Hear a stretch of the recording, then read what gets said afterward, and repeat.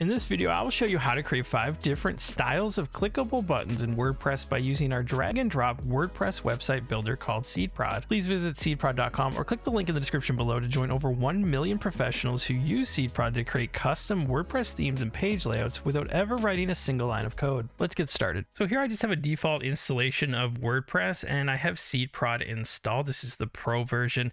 If you need help installing SeedProd, I'll leave a link in the description to the installation video that will help you run through through that step. Next, I'm on the landing pages here, and we'll go ahead and create a new landing page just as a test page to work with our buttons. I'll select the blank template here and I'll click this and I'll just name this buttons and we'll save and start editing the page. Here we can see the SeedProd page builder and these are all our blocks on the left hand side that we can drag into our page to build our website and our pages. And I just want one row, so I'll choose the layout of one column and one row here. And I'll take my button and I'll just drag that out into the middle of the page here. Now, before we select the button, let's go ahead to the bottom left-hand corner here. I'm gonna go to background. Now, I'm not sure yet, but I might add some drop shadow on here and I kind of want to use a darker gray background. You don't have to use this if you don't wish. I just think it looks a little nicer. Now let's go ahead and select our button block. That's the orange part, not the blue. That's the row. We actually want the orange. So let's hit the block settings here. And on the left-hand side, we have our button text. We could update this to maybe say button one. And we have subtext here if you want to add any subtext underneath there. I'm going to leave that blank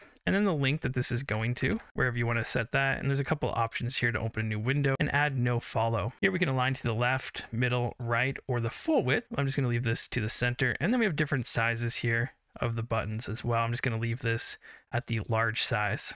We also have icons here at the bottom when you can add an icon before the text or after the text. Next, let's come to the templates here. Now these are pre-made styles that you can just click on and it'll update your button and you can just go ahead and use that and maybe that's all you want. For me, I'm going to come under the advanced tab here. This is the third tab and here we'll see styles at the top. We can minimize this and we have spacing attributes and device visibility as well.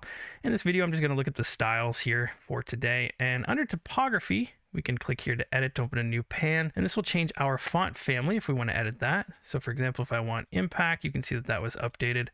If you want another font, you can select whichever one you want to use. There's plenty here to choose from. I'm just going to select the default that's set in our global CSS. We also have the font size, so maybe I'll make that a little bit smaller or bigger. We have line height, letter spacing, some default styles such as bold and italicized, etc. More alignment and letter casing. If you want to make it all caps or all small letter casing, you can do that. Let's go ahead and close this. Under here I have button styles. So this is flat, 2D, vintage, ghost, and you can't really see these too well unless you have a different color because some of them add shading and gradients, but using black, you can't really see the effect too much. In this video, I wanted to look at custom, creating your own custom buttons that'll stand out and pop off the page. Let's go ahead and select custom. And here you'll notice right away we have a normal state and a hover state. So right now, normal is when nothing is happening to your button. And of course, hover is when you hover over the button. Now we can't see anything because we don't have anything set yet. So to get started, we have two options. We have a solid background style color or a gradient if we want to use that. I'm just going to select a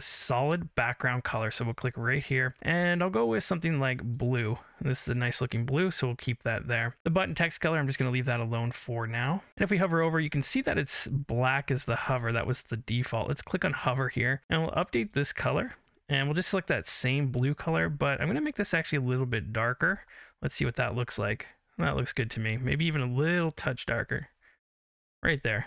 I like that. So next, let's make sure that we come back under the normal state because anything under the hover state, you won't see unless you hover over. So let's go back to normal.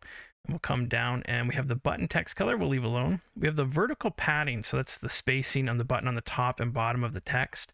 And we have the horizontal padding. So that's on the left and right. So for example, if I Bring this all the way up to 100. You can see that there's 100 pixels of space or 50 on each side. And let's just return this back down to 20. We also have the border radius. This is how much curvature is on your four corners. So right now you can see there's a little bit that's set to four. I put this up, you can see that you get that pill button effect. And if we took it all the way down, you get that strong, sharp edge. And when you take it down to zero, you have that sharp 90 degree edge here. We also have the button border width. Right now, there's no border on this whatsoever. Let's go ahead and set this to maybe two. You can't see that yet because we haven't set a button border color. So let's go ahead and click here. I'm going to select that dark color that we set as our hover. So when I hover over, you can see that that matches our border that we set. That's good. I'm actually going to leave that as our first example.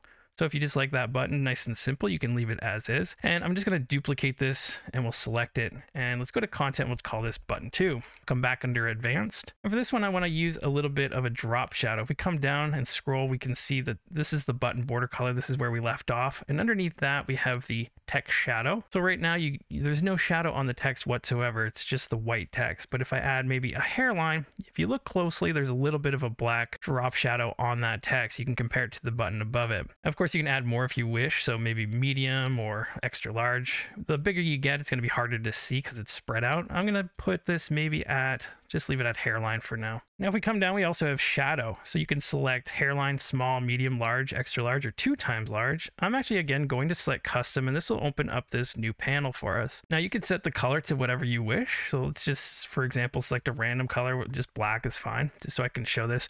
And you're actually going to see a little bit of a drop shadow around the whole button. That's because we have a blur set here by default to three. If I take that off, you'll see that there's nothing happening. If I slowly push this up, you'll see that that black, which is behind our button, is blurred out and it expands out. So you could actually use this for a way to create some unique background colors or behind different sections if you like because you have full control over the positioning from your horizontal and vertical. So for example, I could move this over here or up top and you kind of have this floating big dot here. Now, if you take this blur, it says 100, but I could actually set this to say 200 if you wish. You can just type in the button. Now I have this big red cloud here behind it. So you could use that as some type of lighting effect if you wish. I'm not going to do that. So let's just go ahead and reset everything back here. So we'll do zero, zero, and we'll put this at zero as well. And for my color, I'm going to set that to the same dark blue that we use for everything else here besides the light blue. And I'm just going to off center this a bit. So let's come off to the left a bit. And there you go. You could actually just use that that as a button. It looks like it has a little side there to it that's a little bit thicker, and I think that looks actually pretty nice. Let's go maybe minus 10. And on the vertical, we'll do the same thing. We'll go maybe plus 10, so that goes down to the bottom. That actually looks too much to me. I just kind of want it out just a little bit, something like that. So it looks like it's a, a really sharp shadow behind it, and it's popping off the page. And there you go. I actually like that style just how it is. There's no real blur to it. It's very strong, but it pops off to me. Let's go ahead and duplicate this, and we'll do a third button here. Let's go back to content, and I'll call this one button 3. Let's come back to the advanced tab here and we'll scroll down back to where we were with the shadow. Let's come back to the shadow section with the custom and we'll play with this again to create a new type of button here. Now instead of having the shadow on the outside, and again if you wanted that blurry you could go with the classic look with the blur and then bring it in a little bit and this is how you'd kind of work your drop shadow if that's what you're looking for. A lot of people use the gray so you can see that that has that effect there and you can just adjust it however you want. That looks like it's kind of hovering off the page and I think that looks great as well. But let's try something new. I'm going to select the color, go back to that dark blue that we had and we'll take the blur off. And instead of using the outline positioning here, let's actually switch this to an inset. And now that's on the inset of our button. So instead of being on the outside, you can see that that was applied inside. Let's go ahead and just set this to maybe one. And our spread, we actually want to put this up. Let's go, we could do maybe one or two. I'll just do one. And we're going to change our color to white. Now this actually looks like, instead of a drop shadow, it looks like a second border. So you can actually add these cool effects with your buttons that have a double border effect. So here when I hover up, you can see that white is still popping off the edges, which I think gives it a nice kind of classic great look. And there you go. I would just leave that like that. I think that looks really good. Let's go ahead and duplicate this and I'll do a button four here and I'll come under the advanced tab again and I'll come all the way down. And this time I actually want to change our button border color. Let's go ahead and maybe change this to white and we'll just bring this down to maybe one just so it's a little bit of a highlight there instead of a full thick border. And we'll come down maybe under the color for our inset here, the, the drop shadow that's on the inside of our button, just like this white piece. Let's go ahead and change this back to that dark color. Now, instead of using just the sharp spread of one, let's go ahead and actually blur this out. Let's put this up a bit, maybe two or three, but we'll use the blur. And now that it's on the inset, that blur actually goes on the inside, right? So if we change this to outline, you can see how that goes on the outside. If we come back on inset, we can actually create this cool gradient effect. Now we could use a radial gradient on our color up here if we wanted to do this, but I actually find this easier to do. You have better control over it. So I can change the blur. So if I just want a little bit on the edge, you could do none if you want, but you could just do a lot or a little and you can find where you like the look of that. Now, of course, you have the hover as well. And I think that looks really great. If you wish, you could put a gradient effect on your hover here as well, if you like. I'm just going to leave that alone how it is. And I'm leaving the white border on the outside just as a light highlight, just so it brings the colors out a little bit more. Let's go ahead and I'll do one more. Let's select the block settings here and we'll call this button 5. And we'll come back to advanced and this one I'm actually going to create a ghost button. So let's come back down and we want the background color to be hidden until we hover over it. So we could come back to our normal state for our solid color, background color, and click the color. And here instead, we could select the that white light gray background. But what we actually want is to have no background whatsoever. So instead of having a color here, let's actually take this little control and we'll put the opacity all the way down.